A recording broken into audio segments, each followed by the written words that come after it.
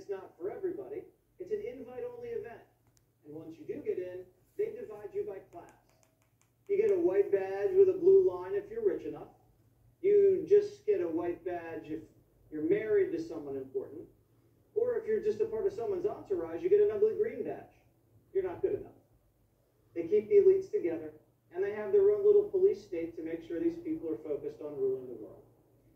If you're not from CNN or the New York Times and you show up uninvited, they'll probably arrest you. And it's all headed up by a guy named Klaus Schwab, who's pretty much running a one world government here. He kicked off the week by saying the future is theirs, not yours. The future is not just happening. The future is built by us, by a powerful community as you here in this room. We have the means to improve the state of the world. And the way they start is by tracking you.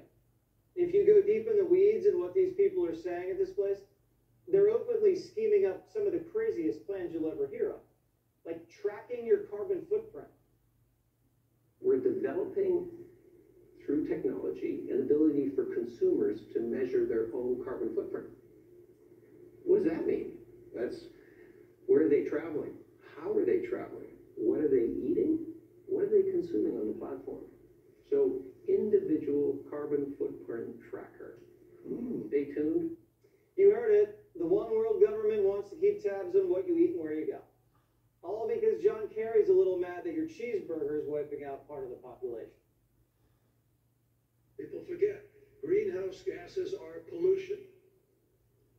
And 15 million people a year die because of the quality of the air around the world. We're, we're, we're, we're dealing with a crisis here, folks. It's a crisis made by human beings. Maybe they should take their own advice before jetting off across the world on those private jets, emitting all that carbon. But to them, they have more important things to focus on, like preventing the next pandemic, since it worked out so well last time. If it comes 10 years from now, we should have far, far better diagnostic technology. That is, be able to scale up every country within a month uh, to diagnose their entire population. We're a little distracted right now, so getting the debate going uh, is happening slowly. Yeah, a lot of people are distracted by inflation, food shortages, you know, real problems. But the ruling class at Davos says, don't worry, it's all part of the plan. We need to accept that there will be some pain in the process. Uh, the pace that we need will uh, will open up for missteps. Uh, it will open up for uh, shortages of energy. It will create inflationary pressures, and maybe we need to start talking about that. That that pain is actually worth it. If you have all the money in the world, the last thing you have to worry about is inflation. It's our problem, not theirs. They're busy ruling the world. And shady George Soros says if we don't make their ideas a reality, civilization is done for.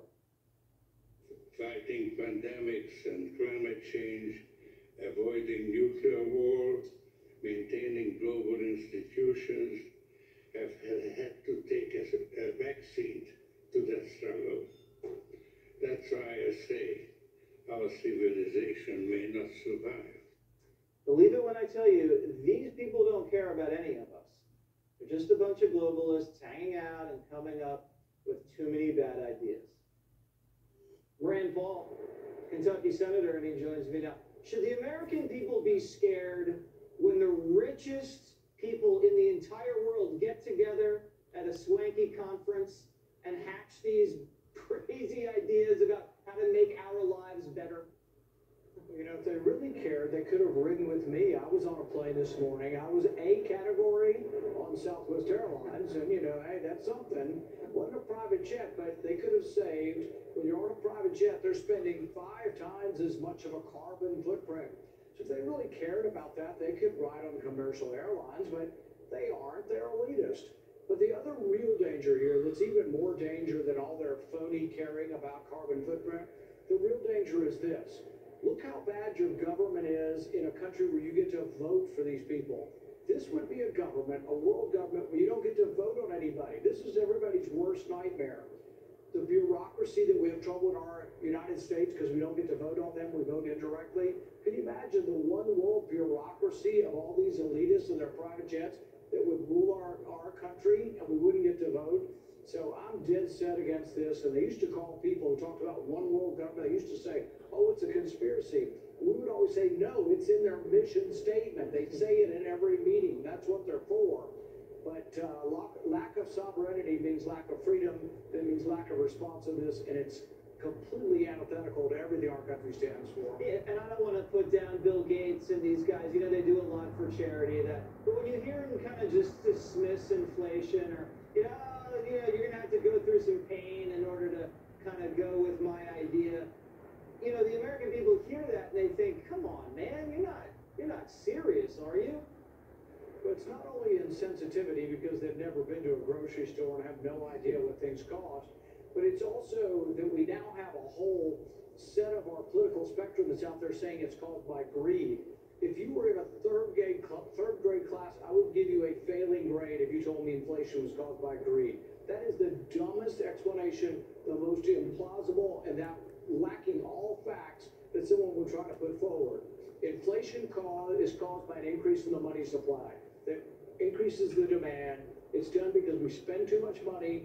The Federal Reserve prints it up to borrow it. It floods the economy and drives prices up. If you don't understand that, they'll never get any better. And my prediction is it's going to get a lot worse before November. What do you think about this tr- tracking technology they're cooking up? They're gonna track your your carbon footprint. I mean, I think that these liberals are already stressed out enough, Senator. Imagine when they find out like everything they do is is killing the the ozone. I mean, they're gonna go crazy. They're gonna start yelling at us.